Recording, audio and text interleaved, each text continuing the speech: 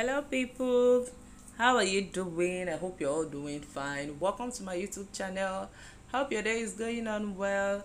Uh so we have here um, new and v from the previous big brother niger okay all of a sudden um we found out they were no longer together. They were really they were really cute together actually then. But they are no more together and today um Vee posted something on twitter and um Neo responded not directly but i mean looking at the two the two tweets you can see that one is referring to one the other is answering one. So this is what um Vee said. Vee wrote could have been yours but you wanted to play. Then News responded.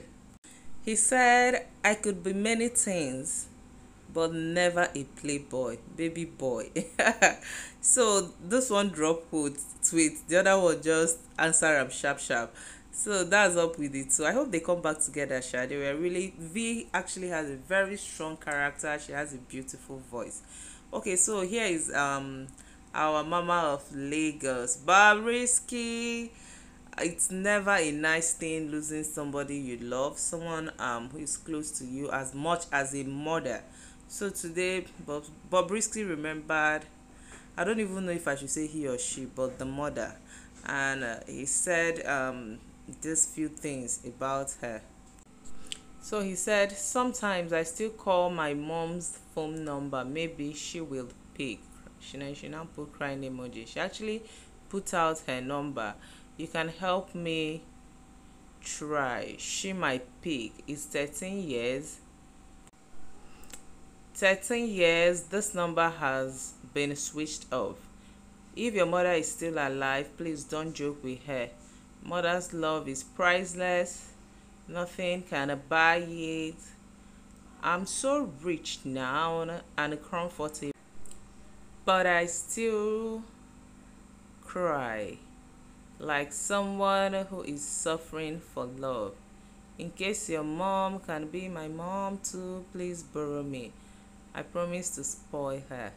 And some other few things she just said. Then she said, honestly, I miss my mom. I'm crying again. Laughing out loud. Cry, cry, baby. It's, it's not easy to, you know, to lose a loved one.